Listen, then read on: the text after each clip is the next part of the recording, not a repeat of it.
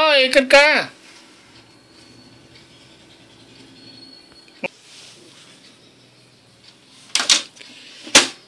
How to reset Konica Minolta 1500W First we open the main door is it then print or button press to go button hold continue then printer on huh?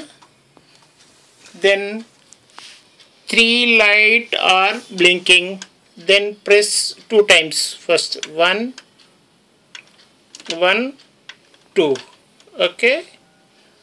Then three light will be blinking then you press five times. One two three four five okay? Then close the main door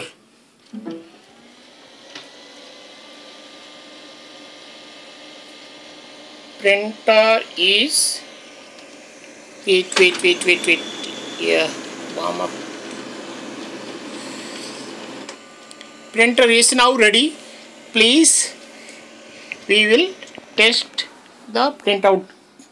Give give give co- computer.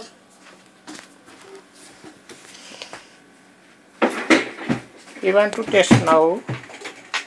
We will give it to through computers printer let's see our printer is ready or not.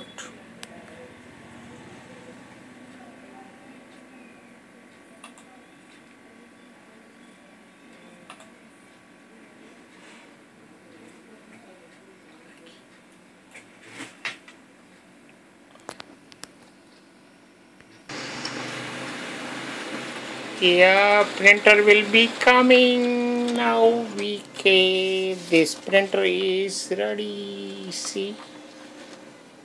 Yeah thank you. Subscribe my channel like and share please